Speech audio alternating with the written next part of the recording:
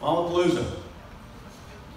In 2010, we utilized 30 megabits of bandwidth, deployed fewer than 50 network devices to about 32 locations, and we served a few hundred users. By 2017, our eighth Lollapalooza, we utilized over a gigabit of bandwidth, deployed 461 network devices across 235 locations, and served over 4,000 users. It's quite a jump. Welcome to large-scale outdoor Wi-Fi lessons from Lollapalooza. I'm Allen Cook, the founder and CEO of TourTech. I'm going to share with you a few of the things that we've learned about deploying Wi-Fi at one of the nation's largest outdoor music festivals. I'd like to start off with a favorite quote of mine from John F. Kennedy back in 1962, the start of the space race. He said, we choose to go to the moon in this decade and do the other things, not because they are easy, but because they are hard. Now, I've always been a big fan of the space race, but also uh, the idea that people would decide to do something even though they knew that it was going to be difficult to do. Now, certainly what we're doing here isn't rocket science, but the number one lesson that we've learned is that Wi-Fi is hard. You see, Grant Park is over 300 acres, and there's not an inch of infrastructure that exists for us to connect into. So everything that's required by the festival has to be installed by our team of about five techs in roughly 10 days. Unfortunately, we're not alone. We've got networks from AT&T, the Park District, the guy that runs the Snack Shack, apartments and condominiums that ring the park, and wireless ISPs beaming signals back and forth between the rooftops of downtown buildings. Add to that all of the networks that we build to do the festival, and you've got the real potential for disaster. When you operate wireless networks in close proximity to each other, you increase the likelihood of performance crippling interference. And this is where in an average Wi-Fi presentation, um, they'd sort of slide a, uh, likening Wi-Fi to a garden hose and a fire hose or a three-lane highway and a 12-lane highway, and all of these examples to illustrate the problems that we face dealing with interference, these invisible waves intersecting with other invisible waves and causing problems. Never really resonated with me. Um, trying to talk about in air and invisible just didn't work, and I realized that that was, in fact, exactly what we were trying to describe. Um, Wi-Fi is air, and our devices are like our lungs. Um, interference is pollution, it's small, right? So, so our device lungs want to breathe in fresh, clean air and run very, very fast, cruise the internet at lightning fast speeds. But this pollution starts to kick up, this interference from Wi-Fi and other sources, and we can't, we can't go as fast. We, we, start to, we start to feel bad, we struggle a little bit. And then one day they say, hey, don't go outside. You can't go outside. The pollution is so bad, you can't even connect. Like timeouts, no connection. Now you've got a real problem. And we've certainly had our share of challenges at Lollapalooza over the years. But the, one of the hallmarks of our relationship with C3 Presents has been an acceptance of those challenges and the understanding of the inherent benefits that come with their resolution. Uh, they know that we're going to come back the next year with a better, more resilient network, not repeating the mistakes that we've made before. So we don't consider these to be failures, we simply add them to the list of things not to do next year. And that leads us to lesson number two, continuous improvement. We are always working on uh, advancing the state of the art, uh, evaluating our network te technology as well as our network topology. And that is to say, what we use and where we use it on site to deliver the best possible user experience as close to the user as we can. You'd be amazed by how much wire is involved in wireless networking. That's a quote by me. It's not famous yet, but I'm, I'm working on that. Um, but you would be amazed. The number this year was 50,000 feet. Uh, that's about 10 times more than we ran in 2010. Uh, and for the mathletes in the room, that's nine and a half miles of copper wire. Now, when we started this back in 2010, we built a large point-to-multipoint 5 gigahertz wireless network uh, to distribute the signal across the park uh, as efficiently as possible. But as more and more devices moved from 2.4 into 5 gig, we had to find new ways to do that. So we added 3.65, 24, 39, and 60 gigahertz radios to our inventory. And this year we ran about 4,000 feet of fiber optic cable. Now last year at uh, FestForums, I gave a talk about uh, the same as last year, why event technology is never the same. And in that, we explored the idea that a festival can take place in the exact same location, uh, with the exact same footprint, the exact same number of fans, and the exact same size staff, but still year after year require more and more connectivity. The devices that we use and the services that they connect to increase exponentially year after year. When we started Lollapalooza, SD streaming was barely a thing. This year, they're streaming in 4K. And that's what accounts for that jump from 30 megabits in 2010 to the over a gigabit uh, in, in 2017. And that's a 3,000% increase uh, in bandwidth in, in less than 10 years. So all of this is made possible by lesson number three, which is planning. Plain and simple. No magic. BusinessDictionary.com defines planning as a basic management function involving the formulation of one or more detailed plans to achieve an optimum balance of needs and demands the available resources. God, that's a lot of words. But really all that matters there are the last ones, the available resources. You see, if we don't plan and we don't bring all the things we need, because remember, there is no infrastructure in the park. If we need it, we have to bring it. And if we don't bring it, the resources aren't available. So TourTech has developed a proven process that we call big circles, little circles. And in big circles, it's pretty easy. Uh, we go in and we look simply at you have a social media office, you have an access location, you have a sponsor activation. And then we bring our tech team in and we go through little circles where we look at do you have five or 50 people? Do you need hard lines or Wi-Fi? Is that sponsor trying to do public Wi-Fi?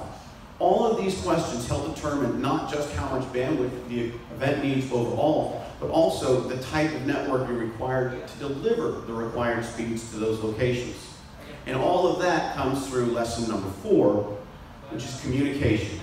Now, and this one is easier. BusinessDictionary.com defines communication as a two-way process of reaching mutual understanding in which participants not only exchange information, but also create and share meaning. And that's all pretty important there because when we say, I have a social media office, we've exchanged information. But we haven't really created or shared any meaning there until we talk about how many people are in that office.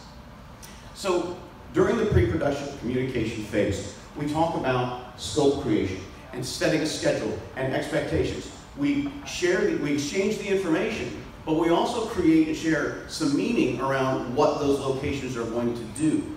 And then when we get on site, we move into the next phase of communication, and during load-in, we're looking at prioritization, right? Based on the schedule that we have and the things that are already done or being done on site, what can we get done to stick to the schedule? And then as we move into show days, we move into crisis communication. What do we do when the networking is not working? Right? It doesn't do anyone any good if you just grab a radio and shut the Wi-Fi's down. I don't know where you are, I don't know how to help you, I'm not going to be able to get the Wi-Fi back up. We try to treat that a little more like an emergency situation. Where are you? What is the exact nature? If you don't see the Wi-Fi network anymore, it could be as simple as someone has unplugged the, the access point or turned off a power strip. If you see the network and you simply can't connect it, it could be interference. It could be a more serious upstream network issue. We have to dispatch a technician to resolve that. We, we need to keep that communication open. And we work with our partners on site so that we know prior to gates opening, we all have an understanding of how we're going to communicate those emergencies. And we follow it all up at the end with an after-action review. Nothing new there, not revolutionary. Talk about the good things, talk about the bad things, write them all down, and then save it in a place where you can find it when you start your planning for the next event or the next year. And that leads us to lesson number five, MIMO. Now in, in Wi-Fi, MIMO means multiple in, multiple out. And it means of radios and uh, devices uh, using antennas and communicating in multiple streams and doing all kinds of technical things. But, but here, what we're talking about is money in, money out. There's a number of myths that have sprung up uh, about Wi-Fi and event Wi-Fi in particular over the years. Um, and one of those in particular is that ad-supported public Wi-Fi will generate significant revenue for your event and offset some of the costs of your production IT needs. The truth is, you're not there long enough. The businesses that do generate significant revenue from ad-supported Wi-Fi networks are airports, hotels, coffee chains. They have a steady stream of customers and they measure their revenue in months, not days or weekends. The other myth that's very popular is that a public Wi-Fi sponsor is going to come along and cover all of your IT costs. I've heard it shared a lot. I've never seen it happen. The truth is that you're going to have to pay for it. But a quality Wi-Fi network can help you generate additional revenue.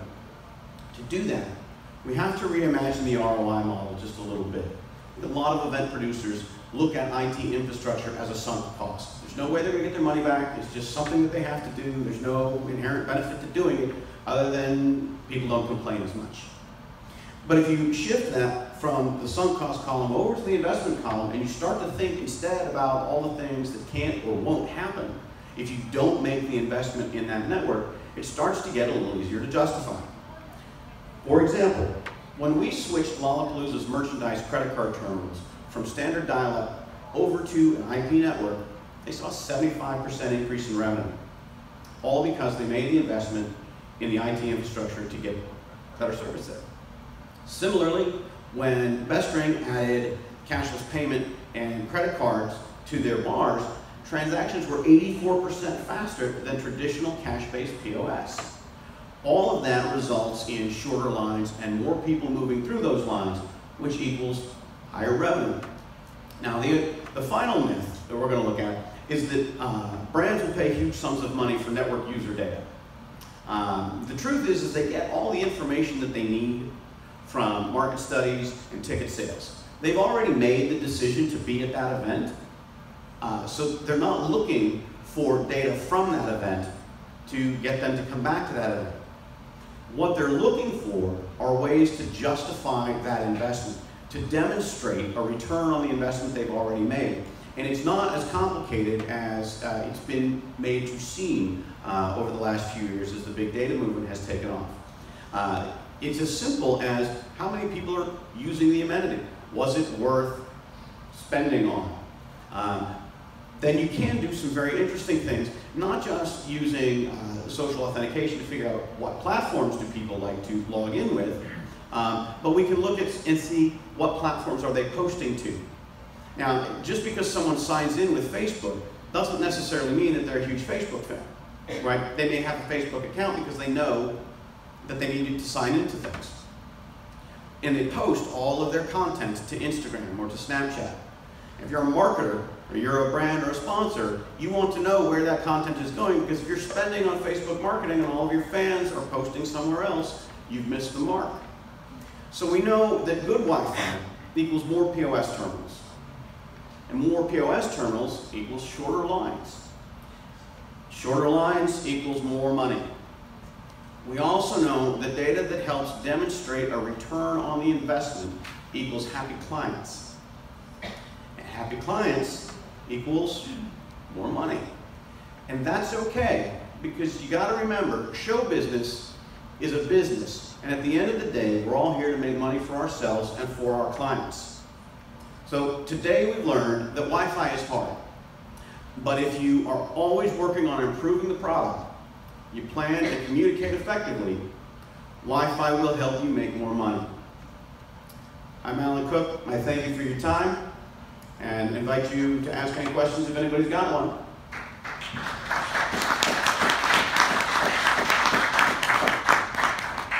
Or get lunch if you're hungry. Thank you all very much.